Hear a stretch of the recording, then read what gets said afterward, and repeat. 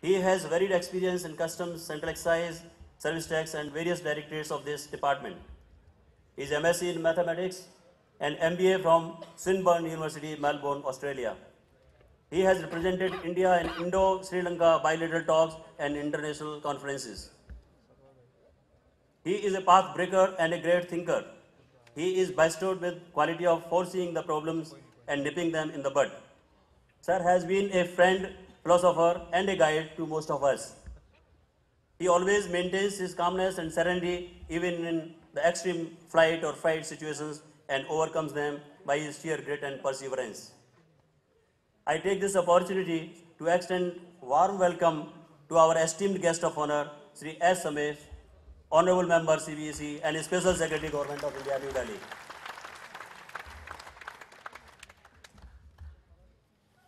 Dear friends, we have with us Miss Babita Fogart, who won many uh, wrestling championships in India and abroad, and her sister Geeta Fogart had won the, the won the first women wrestling gold medal for India in Commonwealth Games 2010. Miss Babita Fogart won silver medal apart from many other national and international medals. More than that, they have won many social battles and surmounted all the hurdles which came in their way to reach such heights.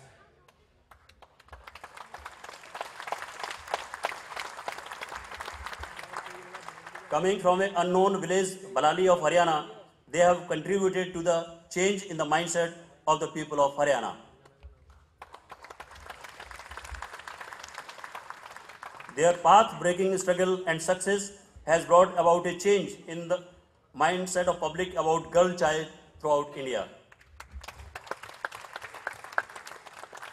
Revenue Fraternity salutes you for your courage and strength.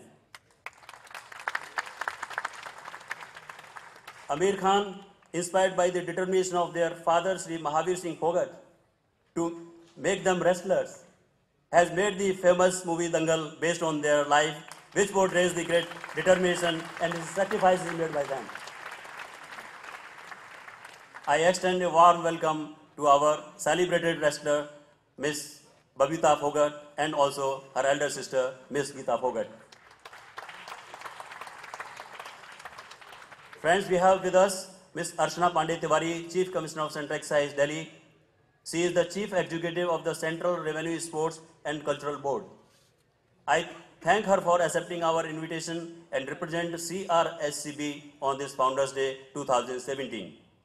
I extend warm welcome to Ms. Archana Pandey Tiwari as the Chief Executive of CRSCB. Finally, I extend warm welcome to the media representatives for their coverage of their spectacular event. And certainly I have great persons from the Bollywood and uh, they are sitting in front of me. I cannot forget them. I wholeheartedly welcome them on this event. Before I close, I would like to read few lines of celebrated poet Dr. Harvans Rai Bachchan, which may inspire our sportsmen and sportswomen.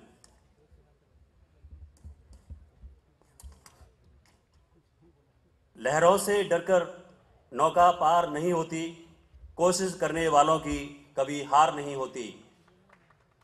डुबकियाँ Sindhu में गोताखोर लगाता है, जा जाकर खाली हाथ लौटकर आता है। मिलते न सहज ही मोती गहरे पानी में, बढ़ता दूना विश्वास इसी हैरानी में। मुट्ठी उसकी खाली हर बार नहीं होती, कोशिश करने वालों की कभी हार नहीं होती। असफलता एक चुनौती है, स्वीकार करो।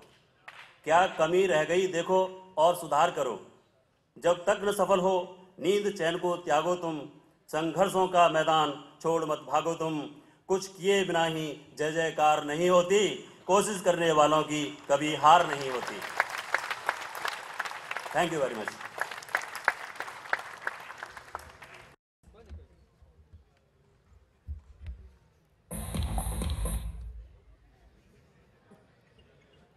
Honorable Cabinet Minister Shri Vinod Tavade, Member CBC Shri Ramesh, Babita Fogart, the International Achiever, Chief Commissioner Shri Vashne, and senior officers, other dignitaries of the two departments, artists from the Bollywood. Uh, we are all here to actually watch all of you rather hearing our speeches.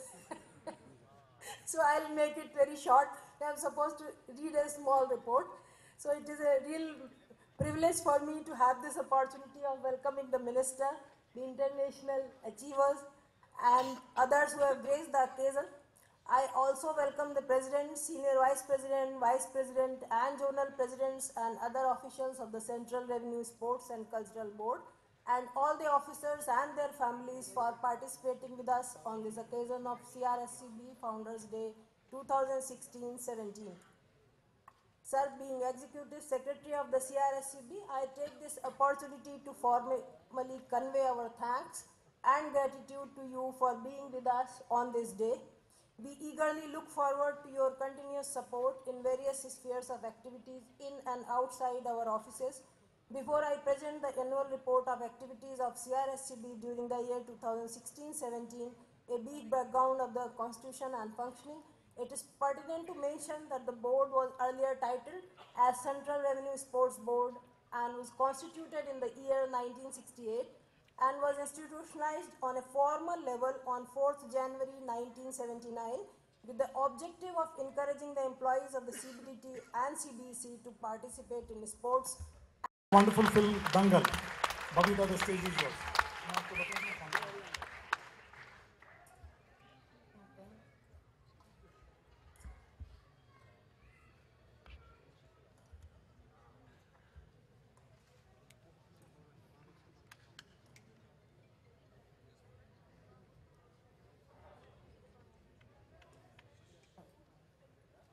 मंच पर विराजमान Shri Vinod तांडवे sir और हमारे sports minister और Shri Ramesh ji honourable special secretary of members CBEC और mister Archana Pandey principal और and secretary and welcome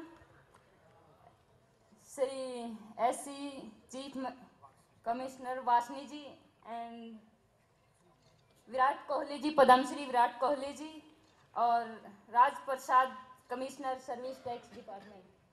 और हमारे यहाँ पर विराजमान सभी मेरे छोटे बड़े बहन भाई और मेरे माता पिता समान, आप सभी को मेरा प्रणाम।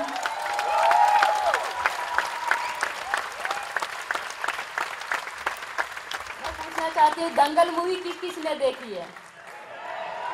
और सभी ने देखी है। तो आप लोगों को मेरी स्टोरी पता होगी कि कैसे मेरे मेरे फैमिली ने और खासकर मेरे पिता ने कितनी मेहनत करके हमें यहाँ पे पहुँचाए हैं।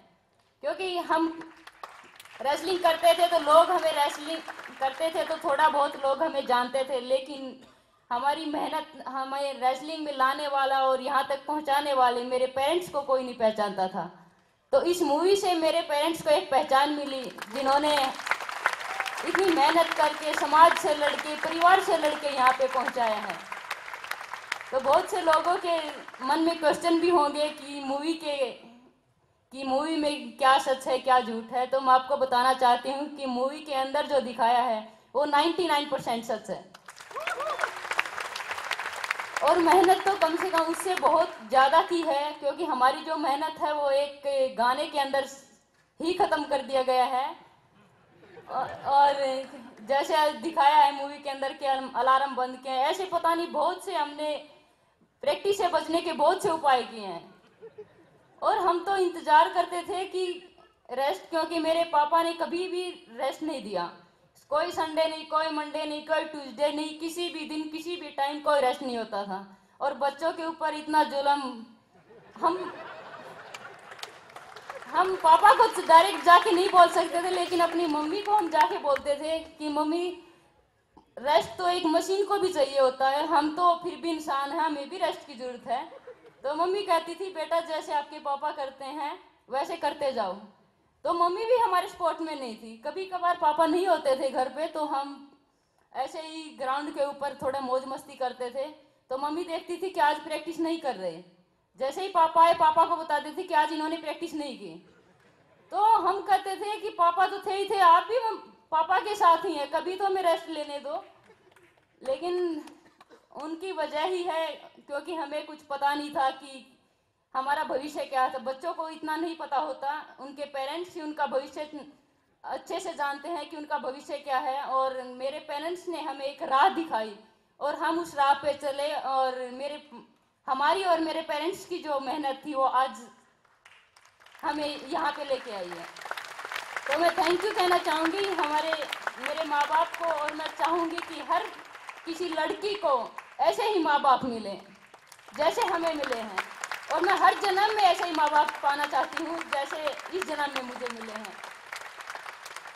और हर उस लड़की को कहना चाहूँगी, जो बाहर जाने से डरती हैं, उस पेरेंट्स को भी कहना चाहूँगी, जो समाज की बातें सुन के ये सब चीज़ें सुन के जो लड़कियों को घर से बाहर नहीं निकलने देते। क्योंकि हरियाणा में तो लड़कियों को घूंघट, अभी भी घूंघट में ही रखते हैं, बाहर नहीं निकलने दिया जाता। अगर मेरे पेरेंट्स वहाँ से, उस समाज से निकाल के हमें यहाँ तक पहुँचा सकते हैं तो आप क्यों नहीं पहुँचा सकते? तो ये सुन के मुझे दुख भी होता है कि बहुत से पेरेंट्स अपने बच्चियों को इसलिए बाहर नहीं जाने देते कि ये सब कि समाज पता नहीं क्या कहेगा, लोग पता नहीं क्या कहेंगे। मैं पूछना चाहती हूँ, क्या है समाज? कौन है लोग? हमारा समाज हमसे शुरू होता है और हम पे ही खत्म होता है। हम है तो समाज, हम नहीं है तो समाज नहीं है। तो हर एक लड़की को धाकड़ होने की ज़रूरत है और साथ के साथ उनके पेरेंट्स को भी धाकड़ होने की ज़रूरत है